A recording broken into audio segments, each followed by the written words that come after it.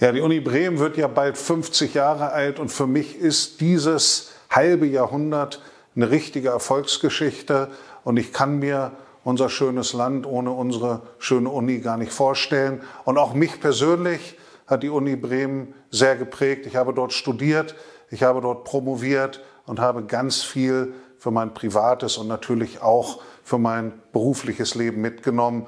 Insofern kann ich nur sagen, weiter so und natürlich bin ich auch Mitglied im Alumni-Verein, weil ich mich mit ganzer Kraft dafür einsetzen will, politisch und privat, dass die Uni Bremen auch weiter eine gute Zukunft hat.